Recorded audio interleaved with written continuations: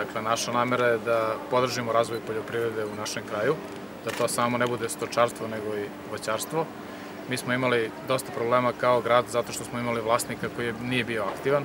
Sedam godina je bio vlasnik hladnjača da ona nije radila. Sada nadam se po ovome što smo obišli, čuli i videli da imamo pravog vlasnika hladnjače. Bez pravog prerađivača nema ni postreka u proizvodnji.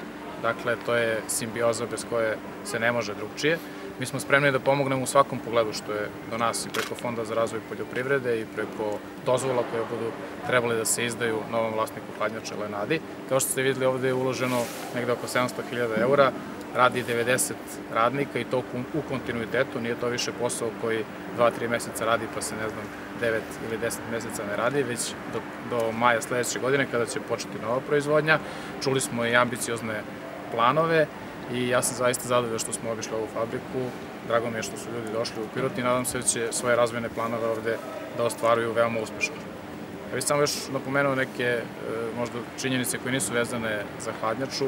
Jeste teško vreme i u Pirotu i u Srbiji, ali bih vas podsjetio da smo neke pogone koje smo obilazili u toku predizborne kampanje takođe napravili neki pomak. Ja sam skoro razgovarao, imao sastanak sa ljudima iz Mercatus tekstila. Oni su zaposlili 40 novih radnika u odnosu na ovaj period kad smo ih mi obilazili. Imaju nameru da takođe udvostruče proizvodnju.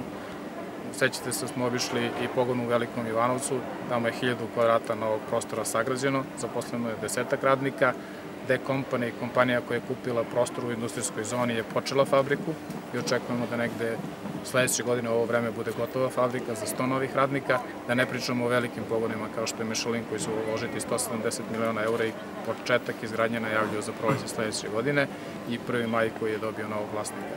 Dakle, sveukupni ambijent ekonomski u Pirotu se poboljšava i nadam se da će to usloviti u naredne dve godine velikim zapošljavanjem nove radne snage.